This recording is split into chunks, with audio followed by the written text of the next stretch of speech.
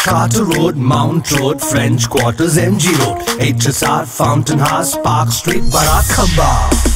We've been here, we've been there. Vekas been just everywhere.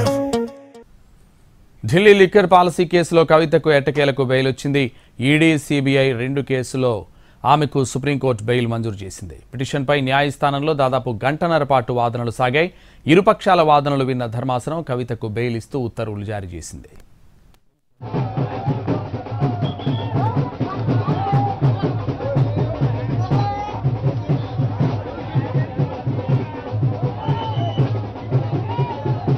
ఐదున్నర నెలల తరువాత liquor కుంభకోణం కేసులో నిందితురాలిగా ఉన్న ఎమ్మెల్సీ కవితకు సుప్రీంకోర్టు బెయిల్ మంజూరు చేసింది.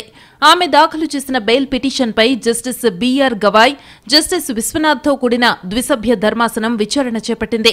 కవిత తరఫున సీనియర్ న్యాయవాది ముకుల్ రోహిత్గి ఈడీ తరఫున ఏఎస్జీ వాదనలు వినిపించారు. ఇరువైపుల వాదనలు విన్న ధర్మాసనం కవితకు బెయిల్ మంజూరు చేసింది.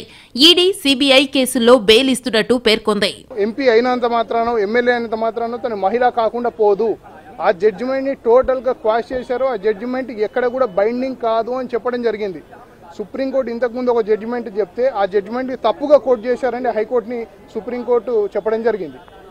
సో ఇవన్నీ చూసుకుంటే అసలు అరెస్ట్కి వీళ్ళ దగ్గర మెటీరియల్ లేదు. నేను మొదటి నుంచి చెప్పుకుంటూ వచ్చాను అరెస్ట్ అయింది ఫిఫ్టీన్త్ మార్చ్ ఆ రోజు నుంచే నేను చెప్పుకుంటూ వచ్చాను ఈ arrest it self is illegal అని. బెయిల్ ఇవ్వాల్సిందేనని రోహత్గి ఇవ్వొద్దంటూ రాజు పోటాపోటీగా వాదనలు వినిపించారు. దర్యాప్తులో ఆలస్యం జరుగుతున్నందున బెయిల్ ఇవ్వాలని ముకుల్ రోహిత్గి వాదించారు. కవిత ఓ ఎమ్మెల్సీ అని ఆమె ఎక్కడికి పారిపోరని ఆయన వాదించారు. సాక్షులను బెదిరిస్తున్నారని చెబుతున్నారని కానీ ఎక్కడా కేసు నమోదు కాలేదన్నారు. సౌత్ గ్రూప్ నుంచి తరలించినట్టుగా చెబుతున్న నగదును కూడా స్వాధీనం చేసుకోలేదన్నారు. అయితే కవిత సాక్షులను బెదిరిస్తున్నారని ఫోన్లు ధ్వంసం చేశారని సీబీఐ ఈడీ తరఫు న్యాయవాది తెలిపారు. అయితే ఆమె ఫోన్లు ధ్వంసం చెయ్యలేదని తన పని వాళ్ళకు ఫోన్లిచ్చారని రోహిత్ గి కౌంటర్ ఆర్గ్యుమెంట్స్ చేశారు. సిసోడియా బెయిల్ పిటిషన్ను పరిశీలించారా అని జస్టిస్ గవాయ్ ఈ సందర్భంగా ప్రశ్నించారు. పరిశీలించామని ఆయన కంటే బెయిల్ ఇవ్వడానికి కవితకే ఎక్కువ అవకాశాలున్నాయని అన్నారు రోహిత్ గే. ఈ సందర్భంగా అరుణ్ పిళ్ళై స్టేట్మెంట్ మార్పు అంశం కూడా ప్రస్తావనకొచ్చింది. సిబిఐ కస్టడీలో ఉన్న వ్యక్తి మాట మారిస్తే అందుకు కవిత ఎలా బాధ్యులవుతారని ధర్మాసనం ప్రశ్నించింది. కస్టడీలో ఉన్నంత మాత్రాన ఎవ్వరూ ఆ వ్యక్తిని కలవరని కాదన్నారు సిబిఐ లాయర్. కవితకు జారీ చేసిన సమన్లలో ఎదురెదురుగా కూర్చోబెట్టి విచారిస్తామని ఉందని దాంతోనే పిళ్ళై తన స్టేట్మెంట్ వెనక్కు తీసుకున్నారన్నారు అసిస్టెంట్ సొలిసిటర్ జనరల్. కవితకు వ్యతిరేకంగా ఉన్న స్టేట్మెంట్ను పరిగణలోనికి తీసుకోవడాన్ని ముకుల్ రోహిత్ గీ తప్పుబట్టారు. ఈడీ సీబీఐలు కావాలనే కవిత పేరు చెప్పించాయన్నారు. కవితకు వ్యతిరేకంగా స్టేట్మెంట్లు తప్ప ఎలాంటి ఆధారాలు లేవన్నారు రోహిత్ గే. ఈ సమయంలో ప్రాసిక్యూషన్లో పారదర్శకత ఏదని ప్రశ్నించింది ధర్మాసనం. కవితను ముద్దాయిగా చేరిస్తే మాగుంట సాక్షి ఎలా అవుతారని ప్రశ్నించింది.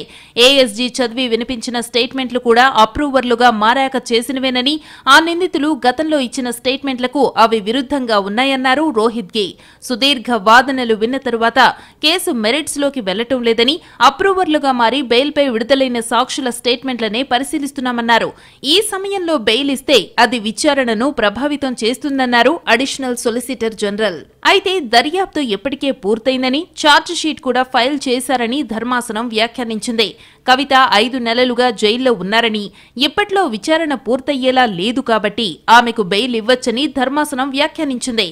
మొత్తం మీద నూట అరవై ఆరు రోజుల తరువాత కవితకు జైలు నుంచి ఊరట దక్కింది. ఆమెకు బెయిల్ ఇవ్వడానికి సుప్రీంకోర్టు మూడు ప్రధాన కారణాలు చెప్పింది. సీబీఐ తుది ఛార్జ్ షీట్ దాఖలు చేసిందని ఈడీ కూడా దర్యాప్తు పూర్తి చేసిందని కోర్టు తెలిపింది. నిందితురాలు జైల్లో ఉండాల్సిన అవసరం లేదని అభిప్రాయపడింది. పది లక్షల రూపాయల చొప్పున రెండు షూరిటీలు సమర్పించాలని పాస్పోర్ట్ సరెండర్ చేయాలని షరతుల్లో పేర్కొంది. సాక్షులను ప్రభావితం చేయకూడదని ధర్మాసనం సూచించింది. నాలుగు వందల తొంభై మూడు మంది సాక్షులు ఐదు వేల పేజీల పత్రాలు ఉన్నందున అన్నింటినీ విచారించి ట్రయల్ పూర్తి చేయడానికి సమయం పడుతుందని సుప్రీం వ్యాఖ్యానించింది.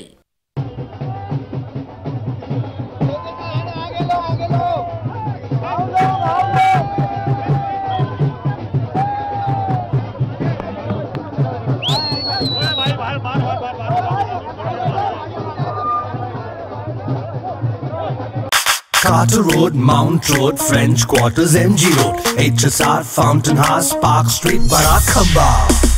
We've been here, we've been there. Vekas been just everywhere.